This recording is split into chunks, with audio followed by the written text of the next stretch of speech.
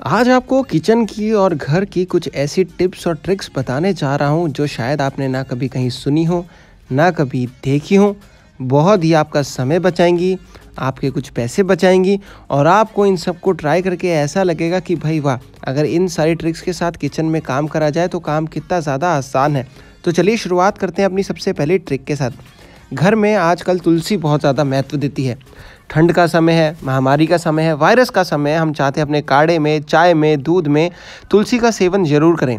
तो तुलसी को ज़्यादा दिन तक कैसे प्रिजर्व कर सकते हैं, उस पर ट्रिक है दोस्तों। आप तुलसी को धो के या तो उसके पत्ते अलग कर लीजिए या पूरा डंठल रख लीजिए और इसको फॉयल में सेव कर लीजिए। काफ़ी दिनों तक अगर आप इसको फॉयल में रैप करके रखेंगे अपनी तुलसी को तो ये काफ़ी दिन तक प्रिजर्व रहेगी, सूखेगी नहीं और आप इसको इस्तेमाल कर सकते हैं।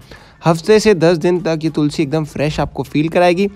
आप चाहें तो पत्ते भी ऐसे ही सिल्वर फॉयल में या फिर पूरी डंठल स्टोर करके रख सकते हैं। ये देखिए, हमने अच्छे से कैसे स्टोर कर लिया है। अगली ट्रिक की तरफ़ चलें। हमारे घर में हम मिर्चियाँ ज़्यादा ले आते हैं, लेकिन कुछ जब इस्तेमाल करते हैं, उसके बाद फील करते हैं कि यार ये तो सूखने लग गई हैं और वही फ्रेशनेस और मज़ा तो नहीं रहा। तो इसको हमेशा के लिए प्रिजर्व और फ्रेश रखने के लिए क्या कीजिए? डंठल से अलग कर दीजिए, क्योंकि जो हरी मिर्ची है, उसमें सारा वायरस जो होता है, गंदगी बैक्टीरिया जो भी होता है, वो उसकी डंठल की वजह से आता है। जैसे ही हम इसको डंठल से अलग करेंगे तो आधा वायरस इसमें लगने का तो लक्षण ख़त्म हो गया। कारण ख़त्म हो गया। अब क्या करें? इसको और काफ़ी ज़्यादा दिनों तक बचाने के लिए एयर टाइट कंटेनर ले लीजिए।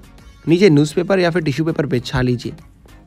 अपनी सारी ये हरी मिर्चीज़ ग्रीन चिलीज़ ऐसे रख लीजिए इसी बॉक्स के अंदर टिश्यू के ऊपर, ताकि एयर और वाटर से कॉन्टैक्ट इसका ख़त्म हो जाए। और उसके बाद इसको फटाफट से कर लीजिए एयर टाइट ये काफ़ी ज़्यादा दिनों तक प्रिजर्व रहती हैं। एकदम फ्रेशनेस फील कराएँगे आपको। अदरक छीलना बेहद ज़्यादा आसान है। एक तीखी नोक वाला थोड़ा सा चम्मच ले लीजिए और ऐसे रब कीजिए। अदरक बड़ी आसानी से आपकी छीलती चली जाएगी। आपको ज़्यादा मेहनत करने की ज़रूरत नहीं पड़ेगी।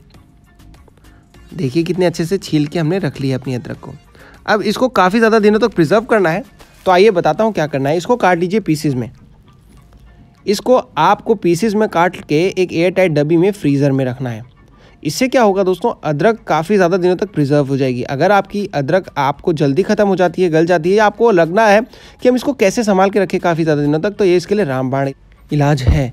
आप ऐसे इसको रख लीजिए। फ्रीज़र में कई दिनों तक आप इसे स्टोर करके रख सकते हैं, पंद्रह से बीस दिन या फिर महीने तक। और जब भी आपको इसको यूज़ करना है तो क्या कीजिए? ऐसे स्टोर करके फ्रीज़र में तो रख लिया। अब इसको पानी में डाल के भिगा दीजिए पाँच सात मिनट और इसको यूज़ कर लीजिए। फ्रीज़र से निकाल के एकदम तैयार होगी।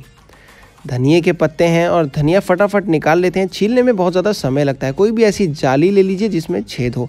स्टील की हो तो बेहतर रहेगा। और ऐसे खींच लीजिए अपनी धनिए के पत्ते को। आपके धनिए के सारे पत्ते अलग हो जाएँगे, जिससे आपका काफ़ी ज़्यादा समय बचेगा। ये देखिए। कितने बढ़िया से हमारे पत्ते अलग हो गए हैं। अगली ट्रिक की तरफ़ चले। ये भी दोस्तों तुलसी से ही रिलेटेड है। तुलसी यूज़ करनी है चाय में, अब रोज़ रोज़ तुलसी मिलती नहीं तो क्या करें? इसको प्रिजर्व करने के लिए एक और तरीका है और चाय में यूज़ करने के लिए इसको हल्का सा भून लें। माइक्रोवेव हो तो रोस्ट कर लें या फिर धूप में सुखा लें। मैं तवे पे या एक फ्राई पैन में रोस्ट कर रहा हूँ।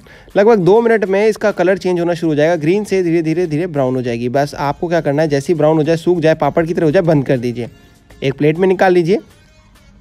अब ले लीजिए वापस अपनी चाय पत्ते की डब्बी और उसमें इसको क्रश करके अच्छे से डालिए। सूखी हुई है तुलसी, और हर बार चाय में तुलसी का स्वाद देगी। हर रोज़ तोड़ने की ज़रूरत नहीं, हर रोज़ परेशान होने की ज़रूरत नहीं। ये देखिए कितना बढ़िया। चाय में मिला ली तुलसी, मिक्स कर लेते हैं इसको अच्छे से स्पून से, और इसको ढक के कितने दिनों तक रख लीजिए आप, और लीजिए चाय में तुलसी का स्वाद। अगली ट्रिक बहुत ही ज़्यादा ज़बरदस्त है हमारी। घर में शीशा होता है सभी के, और उस पर धब्बे होते हैं। उसको आसान करने का बेहद आसान तरीका। पहले लगाएँ गीला कागज़ और उसके बाद सूखा कागज़। बहुत आसानी से विद इन वन मिनट ये क्लीन हो जाएगा। पहले हल्का सा गीला और यही कागज़ उल्टा करके सूखा।